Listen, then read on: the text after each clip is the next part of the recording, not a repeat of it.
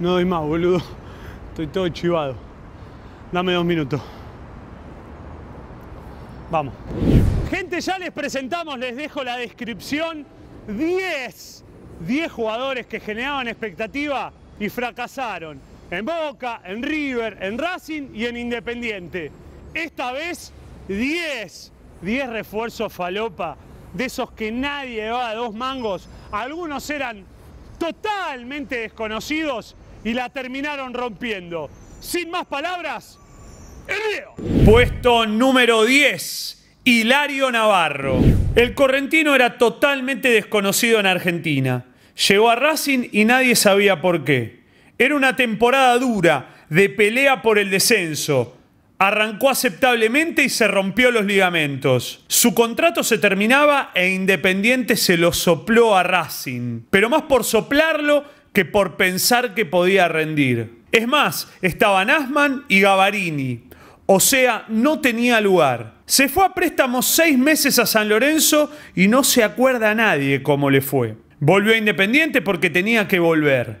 Y ahí el destino le jugó una buena pasada. La llegada de Mohamed, la lesión de Gavarini y una excelente actuación en el clásico lo dejaron de titular. Con Auche, gran posibilidad para Auche. Apunta Auche, el arquero. Rebote en Auche, rebote en Auche, rebote. Gol de Auche, gol de Auche, gol de Auche, gol de Auche. Hilario empezó a ser el arquero de la Sudamericana. Pelota al zurdo Dani Aguilar, pero será Marangoli el encargado. Va Marangoli. ¡Hilario! ¡Hilario! Impresionante tapado del arquero. Independiente, sin tener demasiado, con Silvera, Mareque, Tuzio y el Correntino como pilares, salió campeón. Navarro la rompió ese semestre y fue la última vez que la rompió en el fútbol. Puesto número 9 el Pampa Viaggio. Su historia es sensacional. Laburaba en una obra levantando paredes, colocó azulejos en baños y es maestro mayor de obras. Jugó en dos clubes de Santa Rosa, All Boys y Belgrano. Se fue a Peñarol, pero no debutó y arregló con Danubio. Era un verdadero desconocido, pero desconocido en serio. Recordemos que en el 93 no había internet ni tampoco se veían los goles del fútbol uruguayo. Pero evidentemente alguien lo conocía y lo trajo a San Lorenzo a los 23 años. Al Pampa no le fue fácil al principio. Se lo criticaba porque le costaba la definición, aunque debutó con gol. Pernuncio García, es muy buena. García, gol. Diallo, gol. San Lorenzo de Almagro. Luego empezó a meterla más seguido y fue el goleador del equipo con nueve tantos en el campeonato del 95.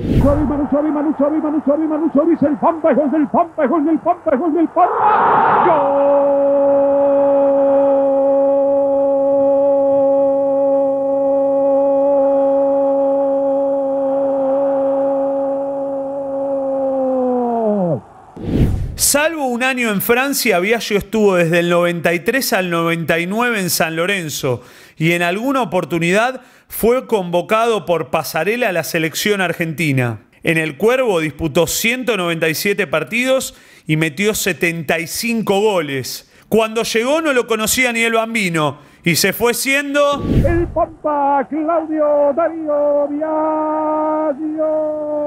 Tengo un consejo para darles. ¿Estás en Europa y extrañas la carne de acá? Arona Argentina Angus Beef es tu solución. Con base en Italia y llegada a todo el continente. Importación y venta. Contactalo a Diego, el Maradona de la carne.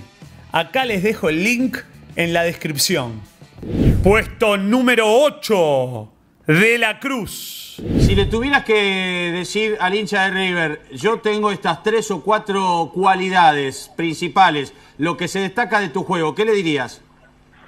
Y bueno, eh, me caracterizo, soy un jugador que, tiene un tiene remate afuera del área, este, uno contra uno importante, pero bueno, después ahí lo que hacer en la cancha es totalmente distinto.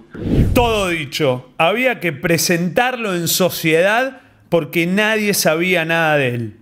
Solo un tipo con la espalda de Gallardo podía o puede traer a cualquiera y que casi no se lo critique. De la Cruz venía de jugar un muy buen Mundial Sub-20 con Uruguay, probablemente por el conocimiento que le tendría Francescoli y también por ser hermano de Carlos Sánchez, River decidió comprarlo. Era un refuerzo falopa en la previa y cuando empezó a jugar, más aún.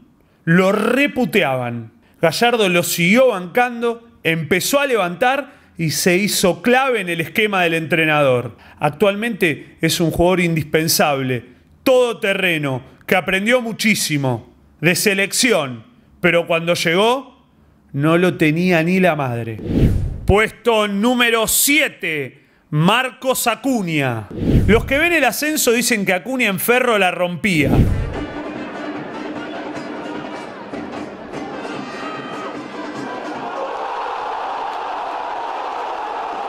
Los que conocemos de Racing sabemos que ni Blanco ni Coca tenían ni la más puta idea de su existencia, y mucho menos los hinchas. Empezó como suplente, no tuvo un gran arranque, al igual que aquel equipo que dirigía Coca. Pidió el cambio a Acuña, ahí está, pidió el cambio, le tiró en la parte posterior, ahí está, se fue al piso. Acuña, problema muscular o calambre. Bueno, se está estirando la punta del pie derecho, puede ser un calambre por el esfuerzo. De hecho, recordemos que la gente puteaba al DT y a todos sus compañeros. Puteábamos, mejor dicho. Hubo una jugada clave del primer tiempo en la que a Centurión le cometen penal, no visto por el árbitro, y en la contra de eso, penal bien cobrado para Lanús por la mano de Gastón Díaz tras el centro de Pinto. Me imagino la, la Pero la cosa cambió. Acuña se transformó poco a poco en un jugador todoterreno. Salió campeón, fue figura, jugó en la selección y es de los futbolistas más queridos de los últimos 10 años de Racing. El huevo tenía cosas como estas. Presiones el partido, pero Racing va en busca del primer gol de la noche. Acuña. Sigue el zurdo Acuña. Puesto número 6. Sebastián Abreu. Sebastián Washington, el loco, Abreu. Llegó de la nada de Defensor Sporting. Con 19 años apareció una tarde en la bombonera. 8 Rivadero, 9 Abreu, 10 Silas, 11. Un alto desgarbado, excéntrico y espástico. Debutó con gol. Vamos al Mandós, también Abreu. Le entró Silas. Al segundo palo. La quería bajar al Mandós. Abreu, gol.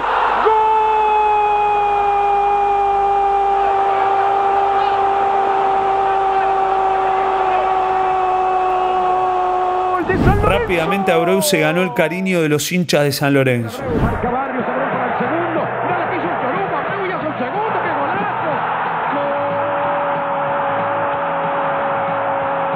Un año le alcanzó para pasar a La Coruña.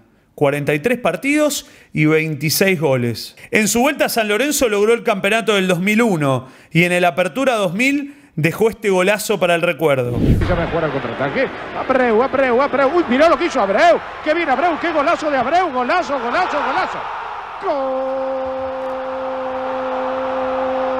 Y este momento hay que revivirlo siempre que se habla de él.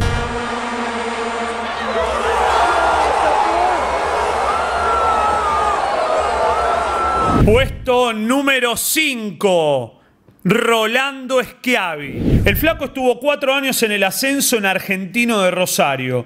Luego pasó a Argentinos, descendió con el bicho y volvió a primera. Realmente nunca sobresalió, siempre discreto, fuerte de arriba y limitado. Queda Schiavi, castigo Schiavi. Bueno, pelota que cae en el área, que pica. Ganó un central arriba, Levi. Le dio Schiavi. También cerca, ¿eh? Están... Nadie, pero nadie hubiera pensado en él para Boca. En el 2001, tras ganar la Libertadores, se fueron muchos jugadores importantes como Bermúdez e Ibarra y llegaron refuerzos medio pelo, Jorginho, Takahara, el Negro Martínez y Schiavi. Nadie daba dos mangos por Rolando, pero ya todos sabemos lo que pasó. Poroto en el área, el Chipi está en el área chica, vino a buscar el primer palo Schiavi. La pelota está siendo de vuelta por el chino Garcés, Villarreal, Chapita habilitadísimo. Se viene Boca, allí va Chapita, Chapita, Chipica y quiere gol. ¡Gol!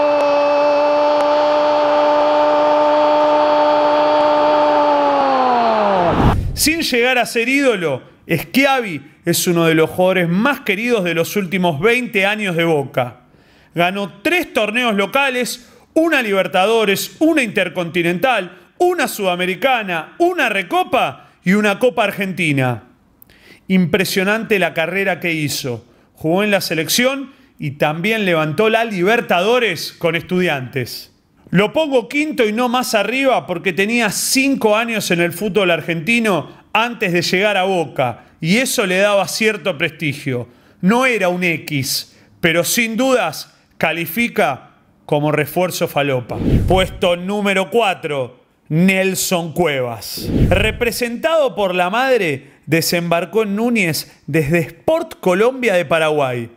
La historia de cómo logró su vieja reunirse con el presidente de River para que lo contraten es única. Mi señora madre hizo todo. E- Ella fue la que fue a River. Imagínate, del- de, ponete a pensar de que estábamos en Mar del Plata, se jugó ese, ese sudamericano juvenil. De ahí ella, siendo una señora muy humilde, se va al Monumental de Núñez, imagínense. Se va, no sé cómo hizo para entrar toda la. Porque el Monumental es grande, un A los River. habrá entrado. Llega a pasar el despacho de Alfredo y le dice, buenas tardes señora, ¿cómo le va? Y ella le canta, una noche tibia nos conocimos junto al agua azul de Pacaraí. Le dice, la vieja le dice a Alfredo Daviche. Y entonces señora canta muy bien, ¿qué le trae por aquí? Empieza a hablar y le dice, vengo a que le compre a mi hijo. Y golpea, la vieja golpea la mesa así, golpea así, así. Entonces le dice, pero señora, yo no lo conozco a su hijo y, y- bueno, entonces como tenía línea directa con, con- con Pelado, ¿no? Entonces lo llama Pelado y evidentemente había un seguimiento hacia mi persona en ese entonces. Y bueno, le llama Pelado y le dice que evidentemente había interés o, o- o que era un- una buena mercadería, ¿no? Imagínate. De caripelas no tanto, pero de, de primera, ¿no? Hermoso. Estuvo cuatro años en el Millonario, ganó cinco campeonatos locales, jugó 103 partidos y marcó 12 goles. El más recordado, uno que me dolió en el alma. Ahora no se había quedado. Arranca Pipino en su campo. Qué jugada Pipino su campo. Campaño lo que sale. Pipino que va a hacer el gol. Pipino, gol, Pipino, gol.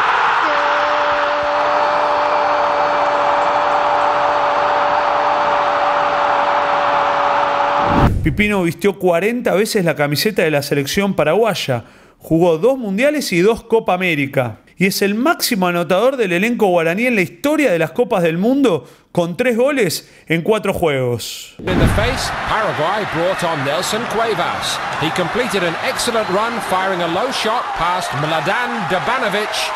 His first Puesto número 3, Gustavo Bou. Este caso lo conozco muy bien. Bou venía de tener una temporada floja en Liga de Quito y discreta en gimnasia.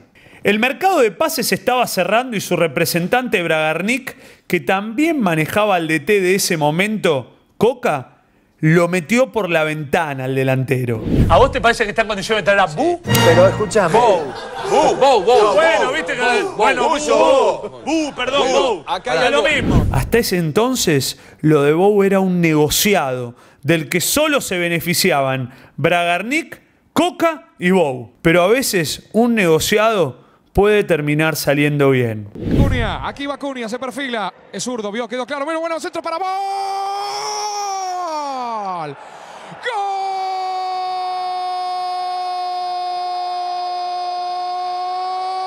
Gol de Racing Bow. Esa tarde en la bombonera cambió la historia de Bou y también de Racing, que terminaría ganando el campeonato. Corriendo, le pegó.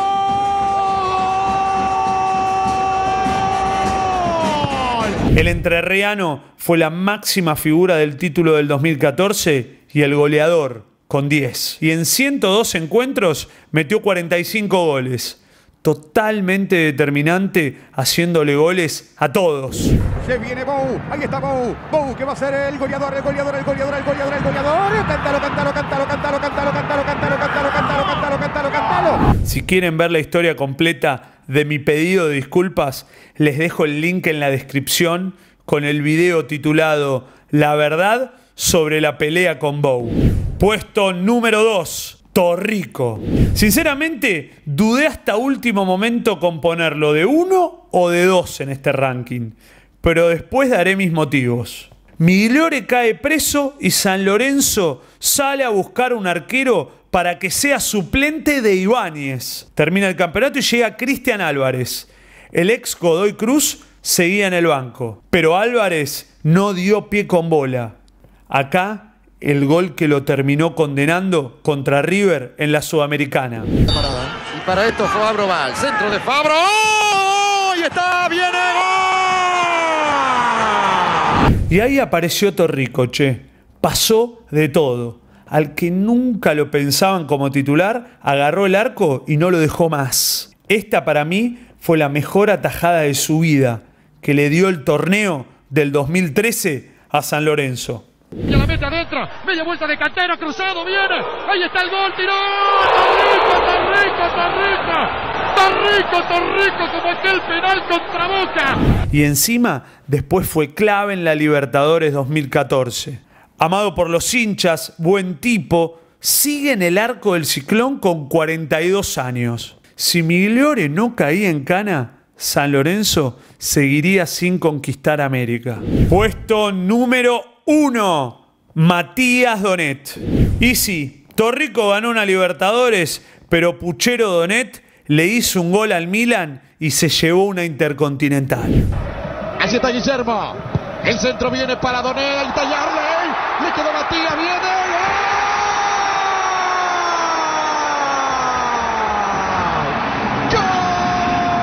Si bien había tenido un buen paso por Unión, que lo llevó al Venecia de Italia, donde volvió sin pena ni gloria, su arribo al Geneise no despertaba ilusiones. Le costó en el 2002 con Tavares, pero se consolidó con Bianchi. Sobre todo en el segundo semestre del 2003, después de la Libertadores. La pelota Boca. Allí estaba vendiendo Casilli para la Pache, para la Pache, para la Pache. Engancha la Pache que viene, puso gol de Doné.